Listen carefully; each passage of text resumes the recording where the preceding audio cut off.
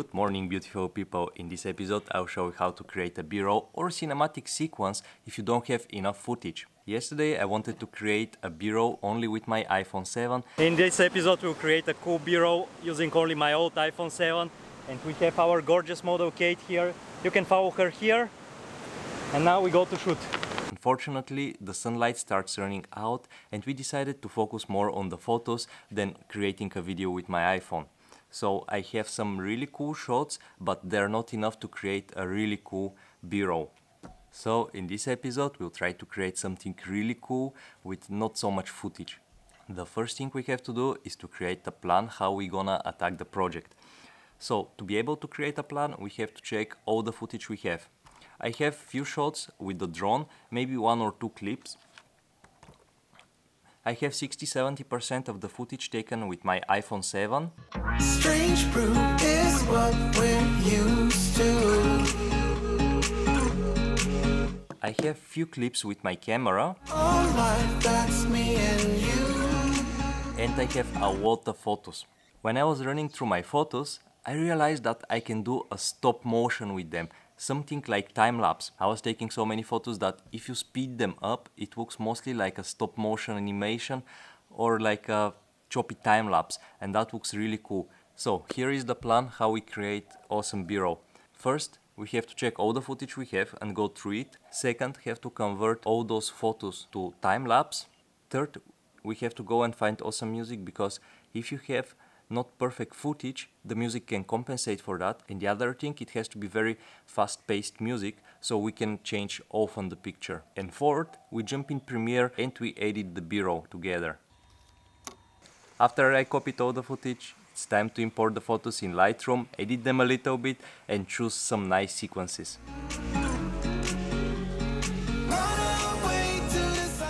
I just chose my first sequence, it's time to color grade it. The color grading will be a little bit different than what my usual edits because we will import the images in the video and we have to match the colors with the video. And if I go crazy with and orange and push the colors, after that it will be really hard for me to match it with my video footage. And there is one huge reason for that. When you shoot RAW files, your images are all 14 or 16 bits and that gives you more information. When you record video is only 8 bits so I can push the colors and how I edit the image two times more than I can push the video and that's why here I'll be a little bit more conservative editing the photos so I can do a good color match Guys, sorry, I have to turn on the ventilator because here in Bali the laptop is overheating. That's one of my ways how I'm cooling down my laptop and I'm able to work normally because when it overheats everything stops. Now let's first fix the color balance. I hope you don't hear the ventilator a lot.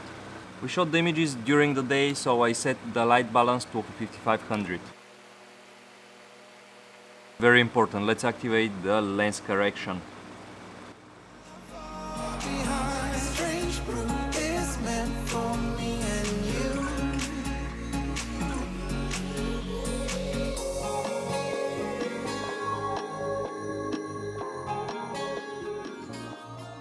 I would like to push the blues towards the teal a little bit and to make the blues a little bit darker. That's why we'll jump to the HSL section. Let's darken the blues. That's going good. Let's push them a little bit. Something like that. I quite like it. Let's see what the aqua does. Okay, the aqua will push as well the aqua and darken it.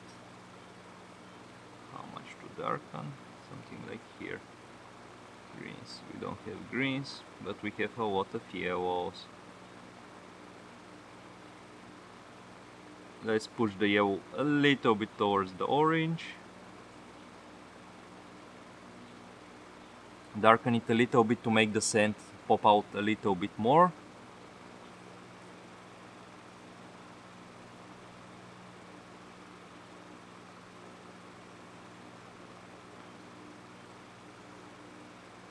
I'm quite happy with my edit.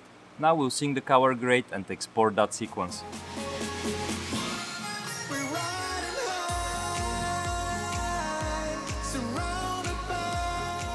When you export the images to create a time lapse, don't export them full size because the computer will die.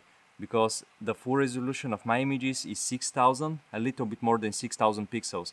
So I'll reduce them to something like 4000 pixels to match a good 4K. And now I'll try to extract several more sequences and do the same color grading. One hour later I managed to export 10 sequences. Now I'm gonna open Premiere and show you how we're gonna create the fancy time-lapse out of them. One very important point which I forgot to mention, when you export the pictures with Lightroom, select the rename part because when you import them in Premiere it's very important that the images has the same name and number at the end 1, 2, 3, 4 like that Premiere is recognizing them as a sequence. In your bin folder you can just double click and then the import dialog will appear or you can just go right click and import. Now let's navigate to our image sequences and import the first one. Do you see how my files are named timelapse minus 1, timelapse minus 2? That's how the Premiere is recognizing that this is a sequence.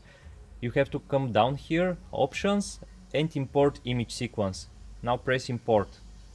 In Premiere it automatically it's imported as a separate video already. If you import it,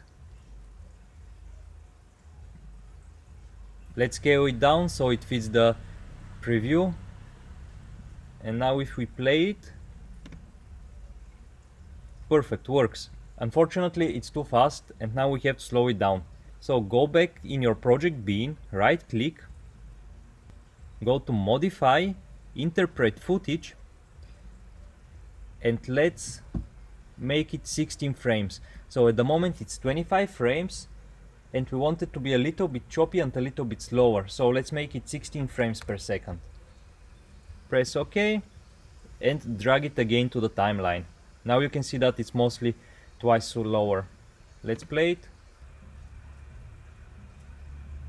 It's still a little bit too fast I'll try with 8 frames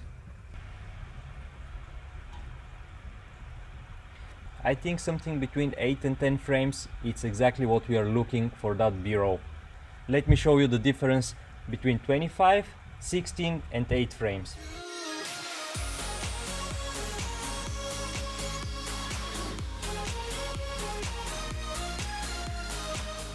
Two hours later you can find me on the same chair it took me two hours to build that sequence because I had to build it two times. The first time I really disliked the way how I did it, so I had to start from scratch. Now I'm gonna tell you the secret source, how to make such identical shots not looking boring.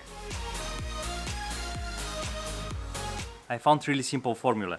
But first let me tell you my first two goals. My first goal is to make the sequence not looking boring and the second one is to trigger some feeling. I cannot tell a full story with those clips because I don't have enough footage, that's why I'm trying to trigger some feeling in the viewer. Now let's move to the first one, how not to make it boring, and I found the secret sauce here. First I'll place a wide shot, after that is coming a close-up, and on third place I'm putting the time-lapse which we generated with Lightroom. After I have that block, I'll create a second block which is very similar to the first one. Wide shot, close-up, time-lapse.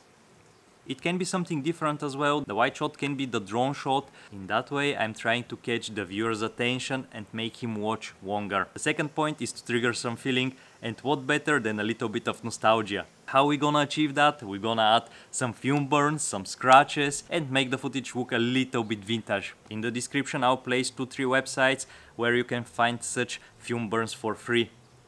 You can thank me with putting a like on the video. Now, because this video is kind of tutorial, let me show you how you use the film burns. First, you drag it in Premiere on top of your clip and then you change the blending option or to multiply or to screen. And after that, if the effect is too strong, just reduce the opacity. Easy busy, you just need to have the master file of the film burn.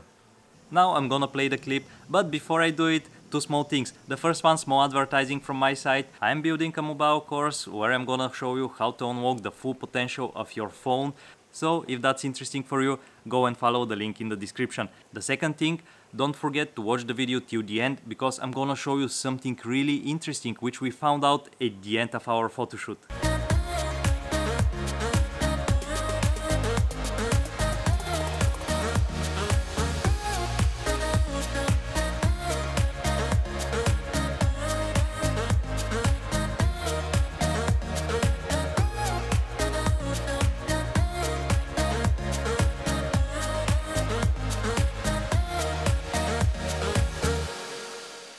I'm really happy how the video turned out. We were on some epic place and we managed to take some epic footage.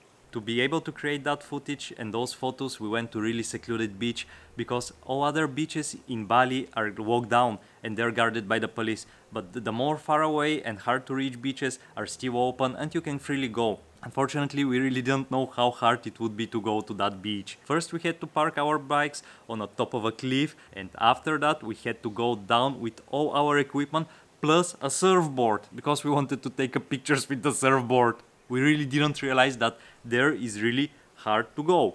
Whatever, it was hard to go, but we managed. We stayed there for three hours, met the sunset, captured some epic footage, and immediately after the sunset, we start urgently packing everything because we didn't have any flashlights except our phones. So we packed everything very fast and start running up the hill. It took us mostly 40 minutes to climb back. It was really hard because I had 8 kilograms of equipment and the surf is really huge and uncomfortable to travel with it. So after 40 minutes we managed to reach our bikes on top of the cliff. My t-shirt was so wet like I went in the ocean and went out. We were soaking sweaty. But then the most magical thing happened. We saw the sky.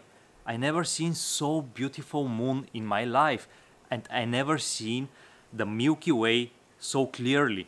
And for those experience, I quit my 9 to 5 job.